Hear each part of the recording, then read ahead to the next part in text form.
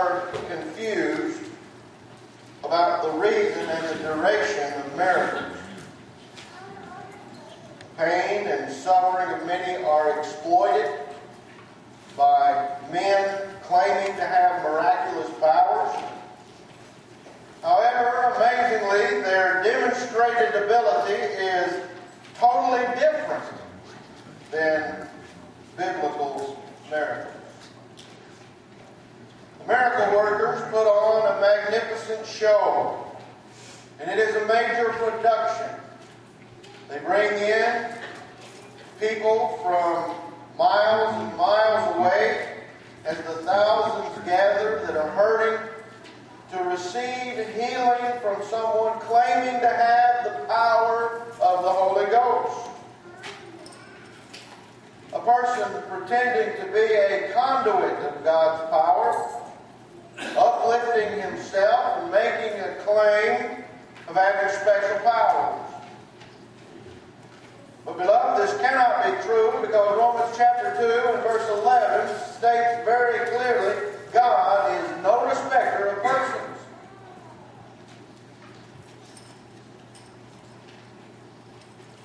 One of the biggest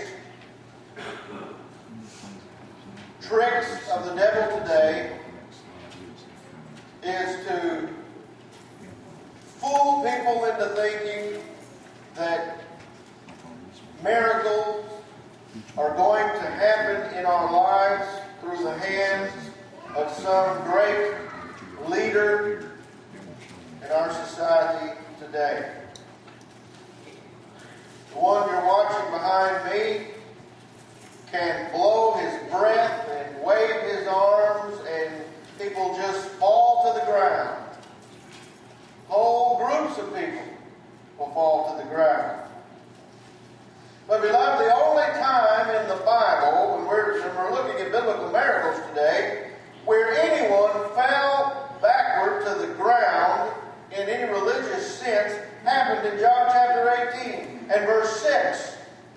And they were the enemies of Christ that fell backward to the ground. Jumping around and uncontrollably in biblical days was a sign of demon possession. In Mark chapter 9 and verse 20. Many are confused. And so let's look at biblical miracles today, the effect of miracles on eyewitnesses. I want you to, as we begin, look with me and see the certainty of the convincing element because of what they had seen through a biblical miracle. First is the testimony of Simon. In Acts chapter 8 and verse 13, then Simon himself also believed, and when he was baptized, he continued with Philip, and he was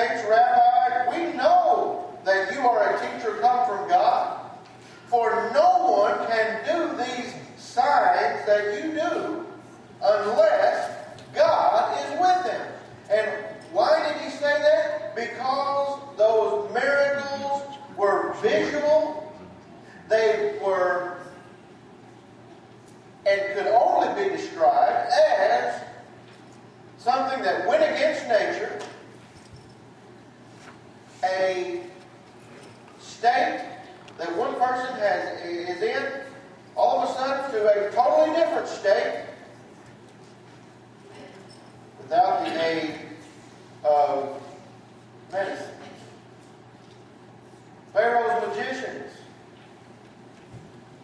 give testimony of where this power comes from. Moses is presenting those things that God has brought, and God is doing those things.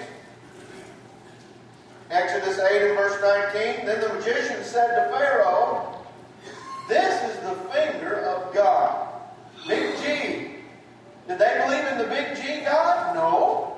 They had ten gods for all different kinds of things.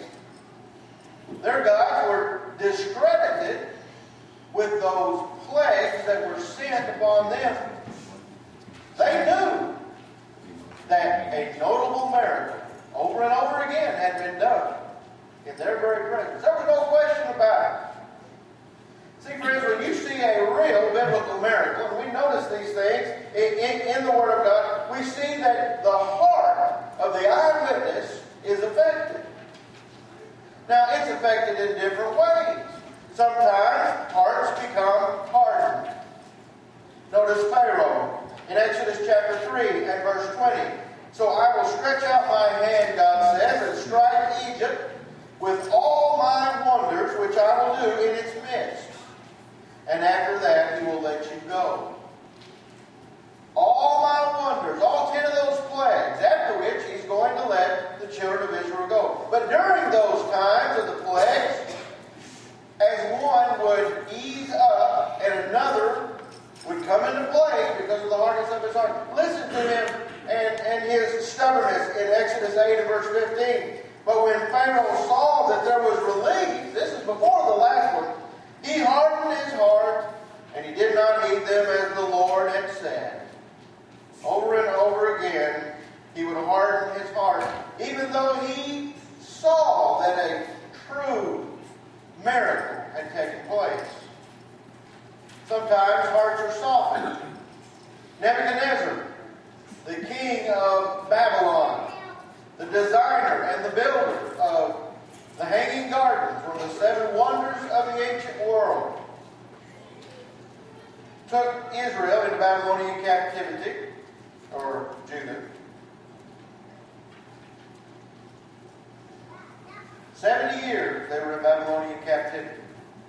Notice here, Daniel chapter 3, verse 19. Well, what happened was, let me give you some background first. He built, had a, a statue built, a gold idol, and told everyone that when the harps and the flutes and all these things played, everybody in the nation had to bow down to his idol.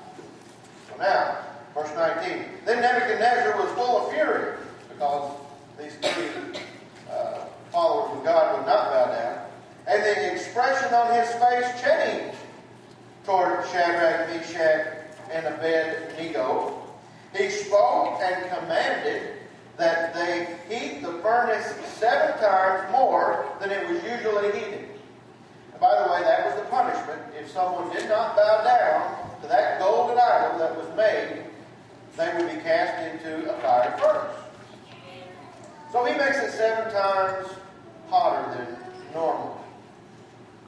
But notice when he sees a miracle, a true biblical miracle that he cannot deny, how his heart changes. In Daniel chapter 3 and verse 28, Nebuchadnezzar spoke, saying, Blessed be the God of Shadrach, Meshach, and Abednego, who sent his angel and delivered his servants who trusted in him, and they have frustrated the king's word and yielded their bodies that they should not serve nor worship any God except their own God. So now he's praising the God of heaven. Blessed be the God, the true God. Some witnessing the same miracle reacted in different ways. Maybe they believed it was a miracle, and yet their response was different. The common Jews were looking for a Messiah. They were hurting and suffering. And notice in John chapter 11, verse 45, many of the Jews who had come to Mary and had seen the things Jesus did believed in him. Here we have the raising of Lazarus from the dead, an undeniable miracle, outwardly visual miracle. They were always outwardly visual, over and over again. So they believed in him toward salvation. But the chief priests and the Pharisees, they also believed, but they had a different reaction. In John 11, 47 through, through 48, the chief priests and the Pharisees, they gathered a council and said, What shall we do? For this man works many signs. Not many so-called signs, or could be signs, many signs. He, they said, if we let him alone like this, everyone will believe in it. Why? because the miracles were undeniable. They were proof that the message was from God. The Romans will come and take away both our place and our nation. Some that witnessed these miracles were simply unmoved. In Matthew chapter 11 and verse 20, then he began to rebuke the cities in which most of his mighty works had been done because they did not repent. You mean to tell me someone can see a biblical miracle and be unmoved and not, not reach out for that salvation unto God? Yes. You mean someone can see a biblical miracle and get angry about that and harden their heart? Yes. If a biblical miracle doesn't have that kind of effect, then what should be our motivation? Friends, our motivation and our power for salvation is the gospel. Romans 1 and 16, Paul says, For I am not ashamed of the gospel of Christ, for it is the power of God and salvation for everyone who believes, the Jew first and also for the Greek. So we don't have to experience a miracle to be saved. And the truth is, many of those who experienced such in the days of the working of God through miracles, they still didn't repent. Whole cities saw this stuff. Most of the works of God, they didn't repent. Just like days of old, miracles today would not convert people. But they do have a purpose. And their purpose for being is important. Let's look at the use of miracles in the Old Testament in the Bible. Creation, number one. Genesis 1. Creating something from nothing. Now that's a miracle. All we can do today is invent things with what God has already created. It's like the fellow that tells God that he can make a human being. God says, okay, go ahead. He picks up the dirt, and God says, get your own dirt. We can't make something out of nothing, but God can. Second, miracles in the Old Testament were sometimes used for deliverance. In Exodus chapter 14 and verse 22, the children of Israel walked through the Red Sea with walls of water, the Bible says, on both sides, standing up as walls as they walk across on dry land. Could you mistake that as American or not American? You would know for sure that is a miracle. Sometimes miracles in the Old Testament, number three, were used for divine judgments. Sodom and Gomorrah was a wicked place. And because of their unchanging attitude and their wickedness, God decided to make them an example. And through a miracle, in Genesis 18, 20, 19, 12 through 29, he destroyed the cities of Sodom and Gomorrah and the cities of the plain round about them with fire, it says eternal fire from heaven. And I mentioned before that the sulfur that was created from that fire, those sulfur balls, are different than sulfur created anywhere else in the world. God made an example of those folks. Divine judgment. You're there one minute walking around, and the next minute you're getting rained on with fire from heaven. It's a notable miracle. In fact, you think about Lot's wife. She turns around and looks and she's not supposed to. She immediately turns into a pillar of salt. Is that a miracle? Yes, it is. It's external. No, there's no way you can question that. Sometimes Old Testament miracles were used for punishment. Although Miriam had come out of Egypt with Moses and Aaron, Miriam questioned Moses before the people. Really, it did question God and his plan for the people.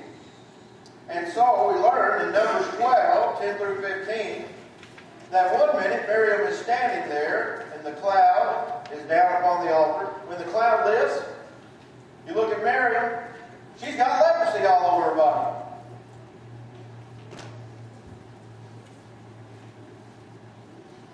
She has leprosy. Moses intervenes and it goes away. But notice in 2 Kings 5, 26 through 27. Now, I said all over her body. It may have on her hand. I, I didn't go back to check that for sure. But this guy had it all over him. 2 Kings chapter 5, 26 through 27. Elisha was dealing with a guy named Gehazi. And Gehazi was so bad that Elisha, he's standing there one minute oh, whole, God through Elisha strikes him with leprosy. So then he's standing there and has leprosy all over him. After which Elisha told him that all of his descendants would have leprosy. So that would be a continuing miracle. But notice there is not something on the inside. Okay, you, you healed a heart condition. You healed a, a, a bladder ailment. You, you healed a lung problem. You see the difference between biblical miracles and the so-called healing that we have going on today. You never and will never see the things that we're looking at here, these biblical miracles, in today's world. Sometimes we see miracles being used as to, to bring sustenance to the people of God. In Exodus chapter 16, 4 through 35, manna rains from heaven for the people to eat, and water flows out of a rock. Both miracles of God. There was no water. We know this was a notable miracle because the people were angry because they, they didn't have water. Their cattle didn't have water. Their children didn't have water. They were angry. They saw the water just spring out of that rock. And this wasn't just a little bit of water. This was enough to water all of the children of Israel plus. When just prior to that, there was no water. In 1 Kings chapter 17 and verse 6, Elijah has prayed. The famine is going on against Ahab and Jezebel and their kingdom. Elijah's hungry. Well, he's sitting by the brook. God has provided the brook for his drinking water. But he's hungry. You know what?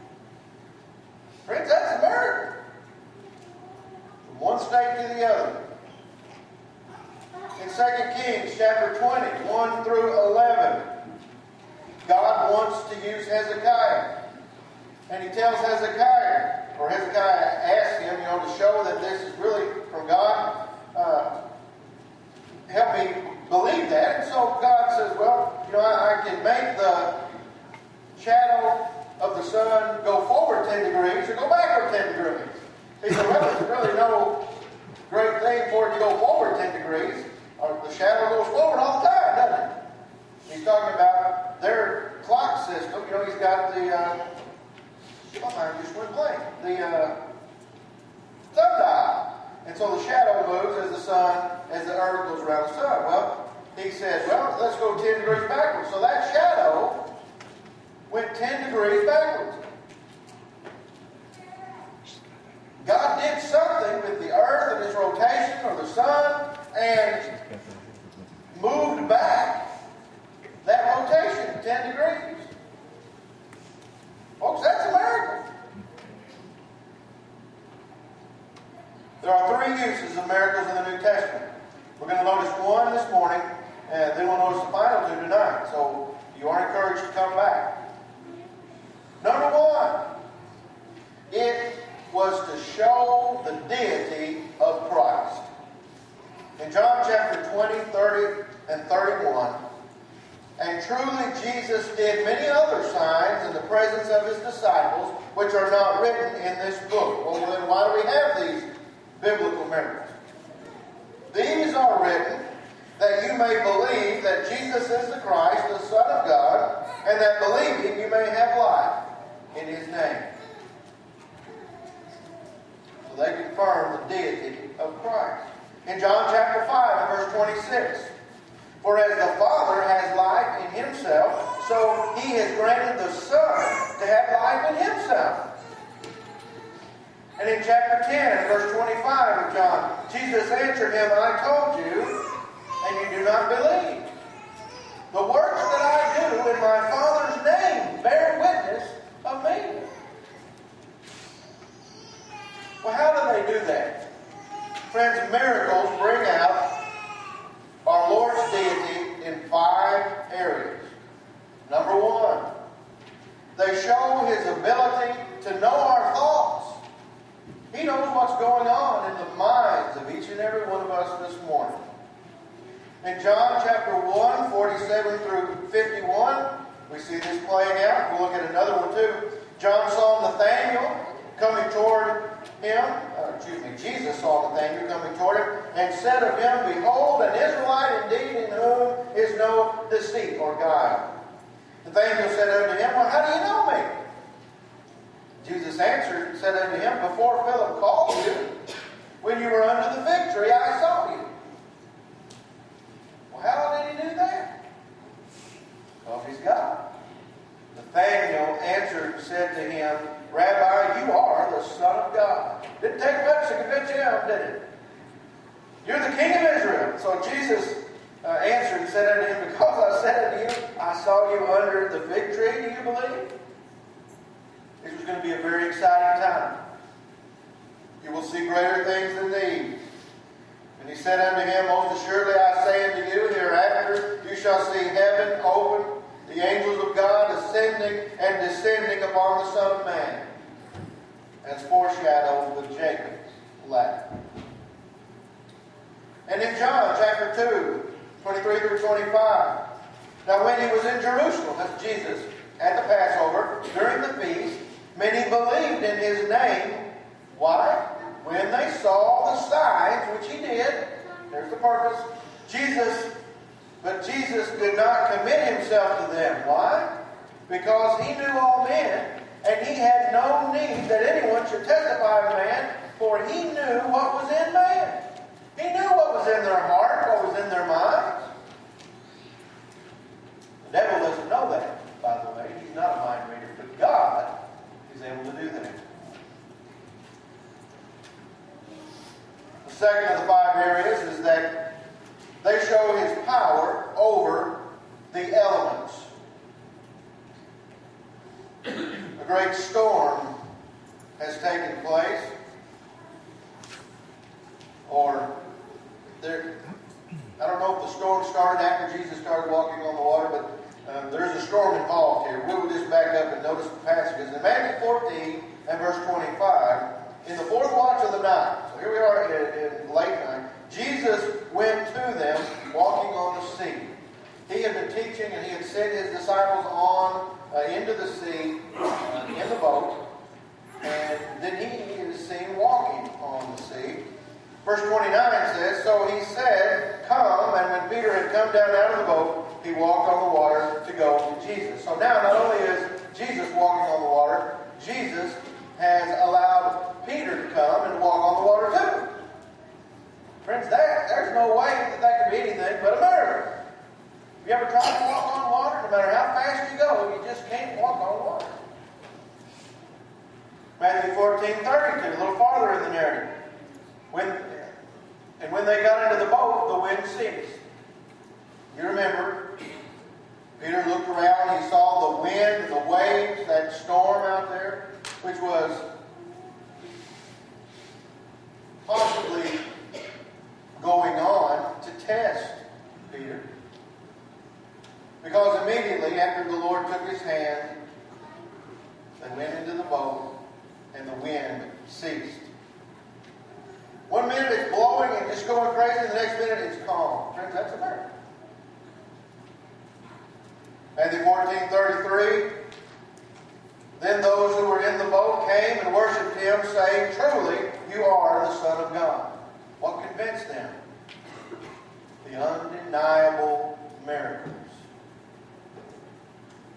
His deity is also brought out in a third way.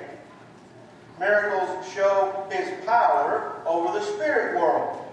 In Matthew chapter 8, beginning verse 28, when he had come to the other side, to the country of the, this is spelled differently in different translations.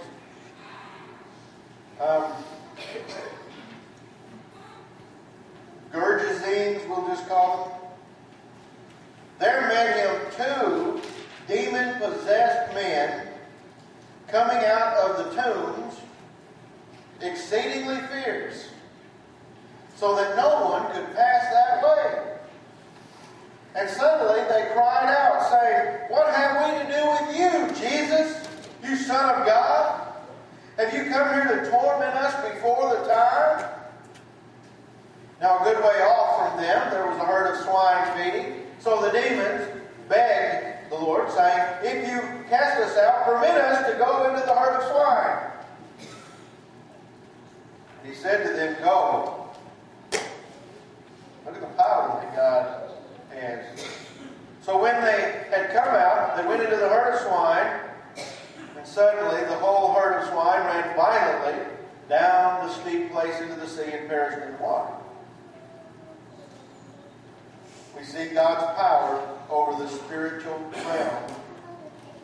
Even the enemies of God are in subjection to his Son. In Matthew chapter 9, verse 32 and 33. And they went out, and behold, they brought to him a man mute and demon possessed. And when the demon was cast out, the mute spoke, and the multitudes marveled, saying, It was never seen like this in Israel. Don't you think there had been fake healers and things up to this point? Yes. In fact, there had been folks that some had followed as being the Messiah because of the tricks that he had been playing. In fact, the leaders thought maybe Jesus and his movement would come to nothing because of uh, the previous ones that did. These miracles are different, so they make a statement. Never been seen like this in Israel. Can't deny these miracles. We also, number four, see in through miracles his, his power over physical problems that shows his deity. In Matthew chapter 11, 4 and 5, Jesus answered and said to them, Go and tell John the things which you hear and see. Well, what was Jesus doing? The blind see, the lame walk, the lepers are cleansed, and the deaf hear. The dead are raised up, and the poor have the gospel preached to them.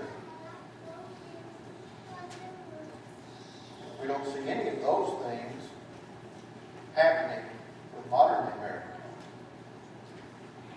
And number five, miracles show his deity with his power over death.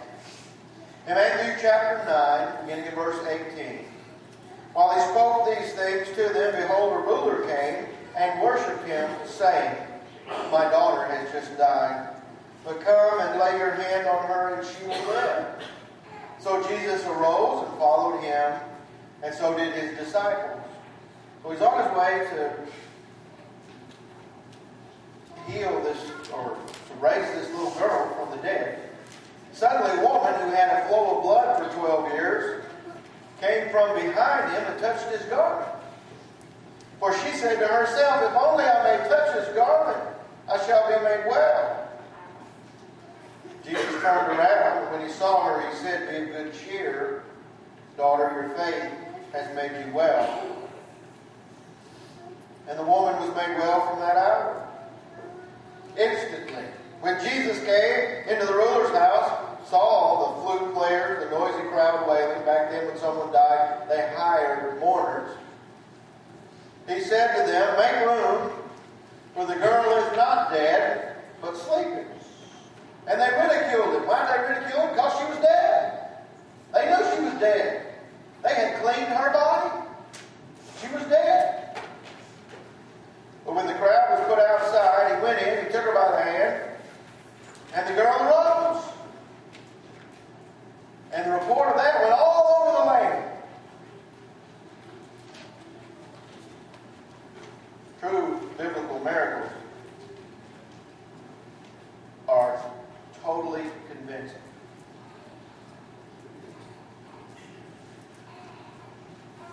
We believe in miracles and the purposes for which they occur. But friends, don't be fooled when advertisements are printed in the papers and mentioned on the radio and on the television and internet of a healing service and all the wonderful things that can be done through a man who has been somehow anointed by God for that very purpose. Today's miracles cannot be verified. Today's miracle workers never raise the dead. Not once has a blind person been immediately restored to having sight. Not once has the person with one leg miraculously had two. See, friends, people are hurting, they're willing to believe anything, and they are gullible, and they buy into these false things. And the devil, friends, deceives. He deceives through psychosomatic cases, through deception, through delusion, and fakery. Often convinces people through hysteria that they feel the Holy Ghost working in their lives. But friends, it's a major production. It's a moneymaker today. Biblical miracles were not for that purpose. Did not have that desire. And they have fulfilled their purpose, as we will notice tonight. There are two more reasons for miracles in the Bible. One to show the deity of Christ, tonight we'll look at the other two.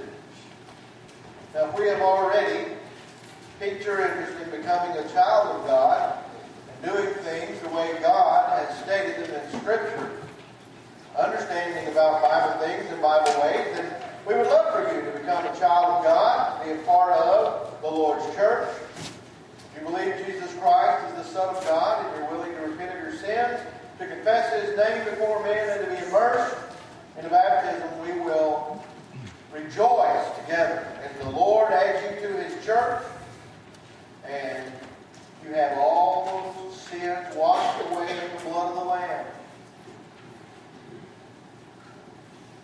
God has not hidden things from those that are seeking truth, but He will allow people to believe and follow a lie if that's what they want. Friends, I encourage you to stand on the solid rock of truth, to believe the things that are brought out in the Scripture, to understand them as truth, and to not be sucked in to the modern religious age that have leaders who will one day stand before God and Matthew 7 21 will come into fruition because they were not found faithful unto the Lord. Look at your life this morning.